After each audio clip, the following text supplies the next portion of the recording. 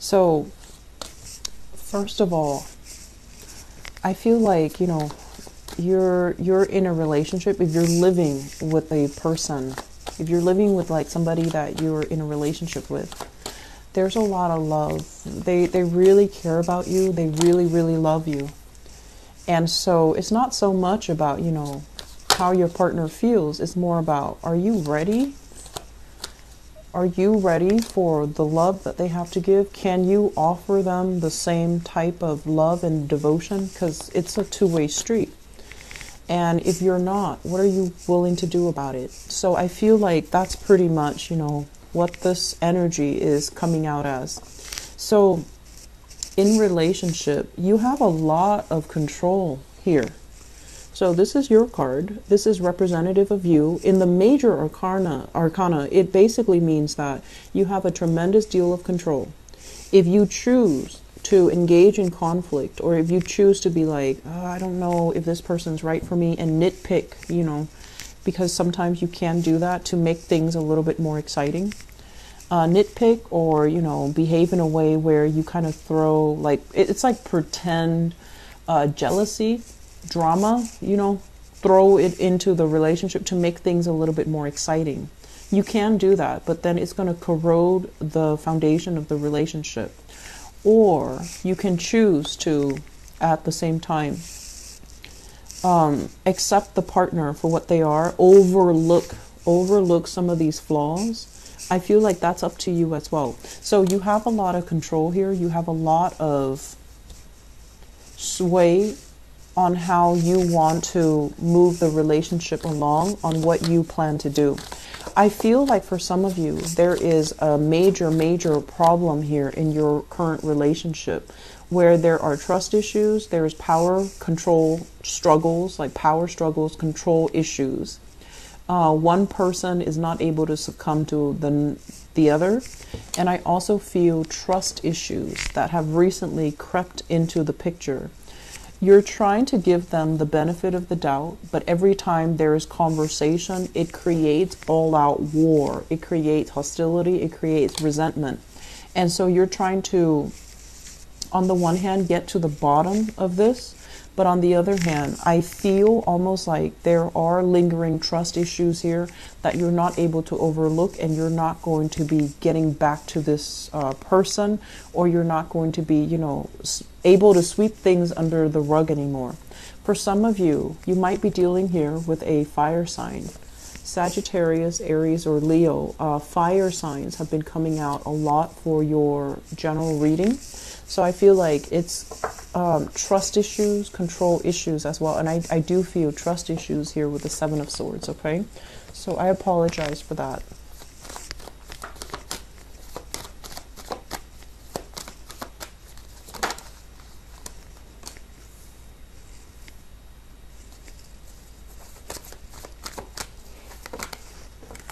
Okay, so here's this fantasy once again.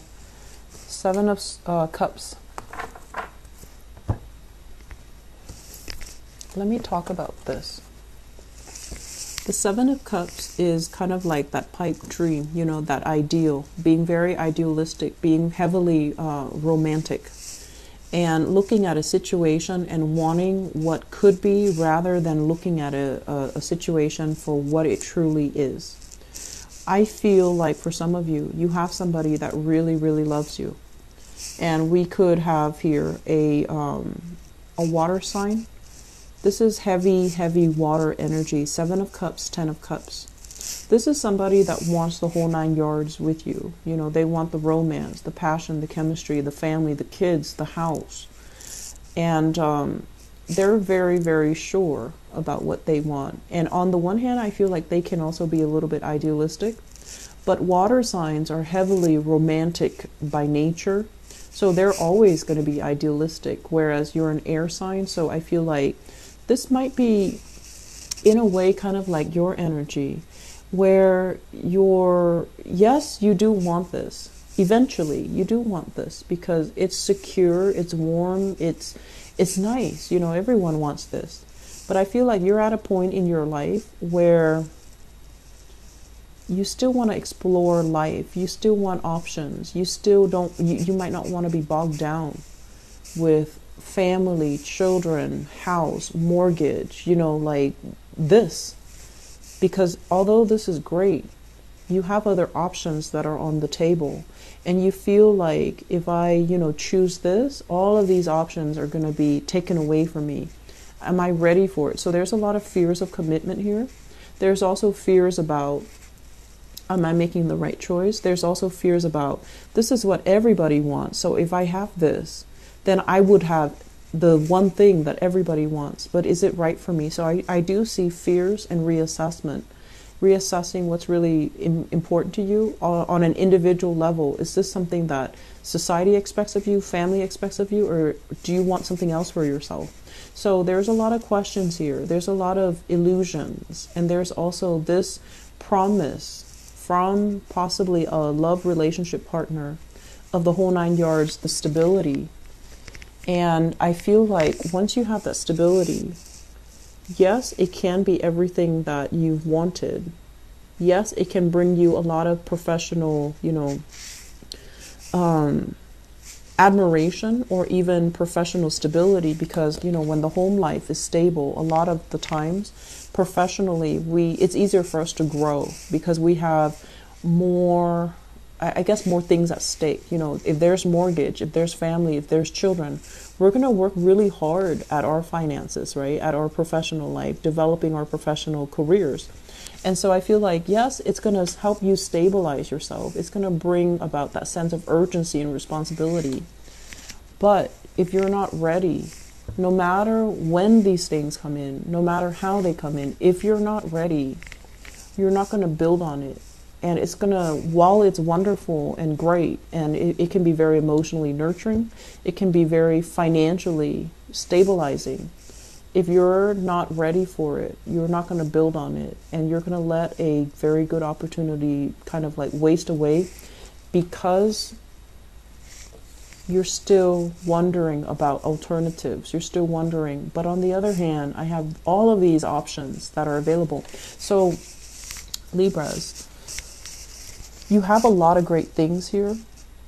And I feel like you're in a really good relationship with another person, but you're still kind of like admiring greener pastures. You're not ready to put in the work. And you know, I, I feel like deep down, as the, the scale of the zodiac, you are very sensitive to imbalances when they affect you. But you also need to kind of like think on the other side. Is it fair for the other person to wait around? Is it fair if I'm not able to give them 100% because I'm still scoping out other territories? So I feel like the problem with air signs in general is um, they're able to love, but they like to weigh out the pros and cons when they make a love decision. And I feel like that's what's happening here.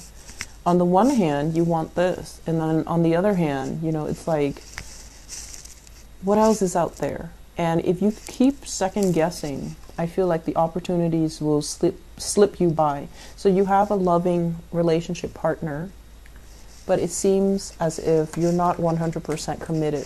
That's what it feels like to me.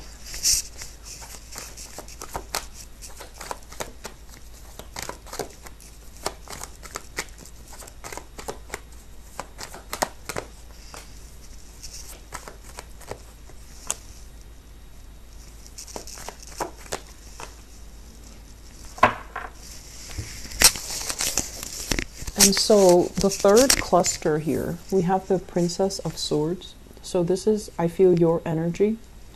Um, this is a card mainly about like somebody who's um, not overly emotional and they're not overly like a sentimental person. Okay, so I feel like for some of you, it might be difficult for you to make emotional connections with another person where you're kind of like barking up the wrong tree, going after people that are not right for you or I feel like you know there might have been some complaints about relationship partners from relationship partners, uh, exes, you know, people that you've dated, and where they say like you're emotionally kind of not there. So there's an element here about needing to kind of reinvent ourselves, needing to really think about how to open up with the death card. The death card deals with transformation. So it's kind of like revisiting how do we communicate? Are we warm and fuzzy and approachable? Or are we like so wrapped up in our head that we like to prove to other people how smart we are? We like to prove to other people all the things that we know. And then at the end of the day, it, you know, a date turns into something very platonic. So something that has a lot of potential just kind of becomes, you know, forever in that platonic or the friend zone. So I feel like many of you, you're at a point right now where you're trying to figure out how do other people see me? Am I approachable? Am I earnest? Am I easy to talk to? Or do I just live so much in my head that I kind of drive people away? So, for those who are single, you're doing some major reassessment. And I also feel as well with the World card, it's kind of like interacting with a lot of different people and people that are very, very different from you. And so, through the interaction, people who might be culturally, ethnically, linguistically different from you, in the process of interacting with them, you're going to fill in all these knowledge gaps about yourself. You're going to learn more about how people behave. You're going to also learn more about how to be a lot more approachable, how to let your guard down, how to, you know, come across as someone who's worldly and just good to be around. I feel, because this is not an overly warm, affectionate, approachable type of a person. This is somebody who's like, you know, um, kind of like a know it all. So I feel like there's this energy here. Yes, you're very, very smart, and you know, you're the least scattered of all the air signs. But this energy here can make it seem like it's very the the interaction with you is very platonic. It's great, it's fun, but it's um it's skirting the surface. It doesn't really have depth. And so this is the month where we start to create layers and depths in our conversation with other in our interaction with others, in order for us to be seen as someone who has depth, who is approachable, who's likable, and who has a lot to offer. Um, I mentioned for, I believe, the Gemini people.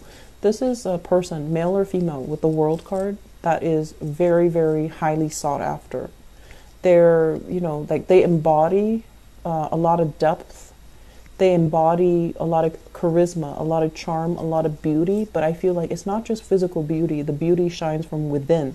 So i feel like you might be coming across somebody like this that you really really really admire. It could be somebody of the same uh, gender the same sex where you wish like you could be this person. Or you are uh, encountering this person in your dating environment and you're trying to, you know, uh, emulate or even, you know, try to figure out why is this person so fascinating. Um, I feel for some of you, it could be here um, one of the later signs. So, you know, possibly even a Scorpio. So I have Leo, Taurus, Scorpio, possibly a fixed sign as well. So Leo, Taurus, Leo, Taurus, Scorpio, possibly Aquarius. So the, the fixed sign, somebody who is strong in their beliefs, who's very opinionated, and it's somebody who has a lot of depth, who understands themselves on a very deep level. Fixed signs know who they are. And so I feel like you're encountering somebody like that that has this uh, energy that really draws you. Okay, so if you're single and out there looking, Leo Taurus, Leo Taurus, Aquarius, uh, Scorpio, the fixed signs. So let me see in terms of spiritual advice for you guys for the month of November. Okay. So I'm going to, yeah, four cards. So let's talk about this here. We have the Four of Wands. And the Four of Wands is a situation where a relationship or a marriage has uh, kind of broken down. And I usually think about this as like, you know, somebody with children, like um, there's children in the mix, because we have here the parents. We have the Queen of Wands and the King of Wands. Okay, so you might be dealing with another fire sign, someone who's really, really strong. Their energy is kind of combative, they're intimidating, they're, you, you might still be very, very attracted to them.